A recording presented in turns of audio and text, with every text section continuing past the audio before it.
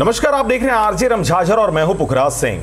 छत्तीसगढ़ विधानसभा चुनाव 2023 की अगर बात करें तो सीएम भूपेश बघेल ने बजाया विजय का शंख। आपको बता दें कि छत्तीसगढ़ विधानसभा चुनाव 2023 के लिए मुख्यमंत्री भूपेश बघेल ने शंख बजाकर विजय शंखनाद की शुरुआत कर दी है। सीएम भूपेश बघेल ने शंख बजाते हुए ट्वीट पर वीडियो पोस्ट किया है। मुख्यमंत्री ने संकल्प शिविर में विजय का शंख बजाया।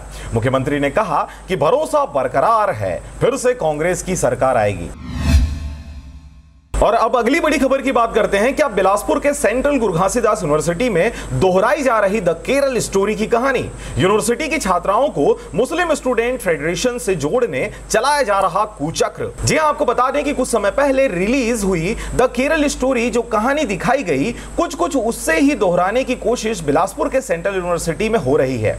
इस मामले के खुलासे से यूनिवर्सिटी में हड़कम समझ गया है। बीएसएफ के नाम से इंस्टाग्राम पर आईडी भी बनाई गई है, जिसमें पोस्ट शेयर शेयर कर विद्यार्थियों को जोड़ने की अपील भी की जा रही है। आरोप है कि कैंपस में कई मुस्लिम स्टूडेंट्स एक्टिव हैं, जो जूनियर स्टूडेंट्स का ब्रेन वॉश कर रहे हैं। यह भी कहा जा रहा है कि इसमें कुछ पूर्व छात्र और शिक्षक भी सहयोग कर रहे हैं। खास बात यह है कि केरल से आने वाली छात्राओं को यह भी नहीं पता कि उन्हें किस लिए और क्यों जोड़ा गया है। इसकी जानकारी मिलते ही यूनिवर्सिटी प्रशासन भी सत्ते में आ गई है। कुलपति प्रोफेसर चक्रवाल का कहना है कि इस पूरे मामले की जाँच के लिए तीन सदस्यीय कमेटी बनाई गई है। कमेटी को 24 घंटे के भीतर रिपोर्ट देने के लिए कहा गया है। उन्होंने यह भी कहा कि यह गंभीर मामला है। और अब अगली बड़ी खबर की बात करते हैं। मुंगेली जिला में माँ कर्मा अस्पताल में छापेमार की कार्रवाई की गई है, जहाँ पर बिना लाइसेंस के चलाए जा रहे इस अस्पताल में ताला लगा दिया गया है और यहाँ पर प्रतिबंधात्मक कार्रवाइयाँ भी की गई हैं। इस दौरान आपको बता दें कि अस्पताल प्रबंधन सहित डॉक्टर फरार हैं। मुंगेली ज़िले में इन दिनों अस्पताल पैथोलेब डायग्नोस्टिक सेंटरों की गोरख धंधा जोरों पर है। अस्पताल प्रबंधन नर्सिंग होम एक्ट को बिना फॉलो किए धड़ल्ले से अस्पताल संचालित कर रहे हैं।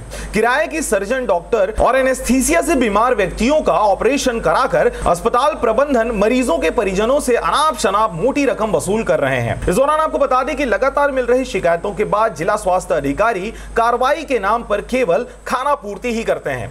परंतु इस दौरान आपको बता दें कि कार्रवाई के नाम पर सील तो कर दिया गया, पर बाद में इस प्रकार के केसों को रफा दफ़ा कर फिर से उन्हें संचालित करने के लिए छोड़ दिया जाता है।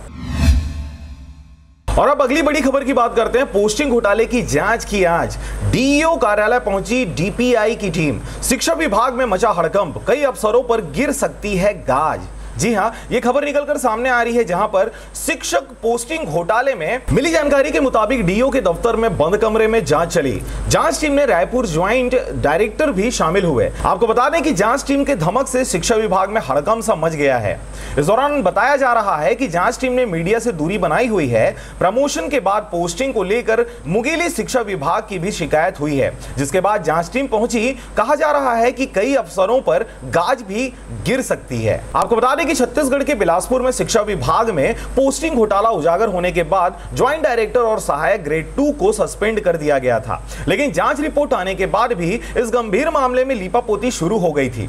वहीं विभागीय मंत्री रविंद्र चौबे के निर्देशन पर लोगों के ऊपर आपराधिक मामला दर्ज किया जा रहा है। कमिश्नरों की जाँच में करीब साढ़े तीन हज़ार पोस्टिंग संशोधनों की जानकारी आई थी। इसमें सबसे अधिक बिलासपुर में खेला हुआ है। तो ये थी आज की कुछ महत्वपूर्ण खबरें। आप देख रहे थे आरजे रमझाझर। मैं हूँ पुखराज सिंह। चैनल को लाइक करें, सब्सक्राइब करें और खबरों को ज़्यादा से ज़्यादा शेयर करें। नमस्कार।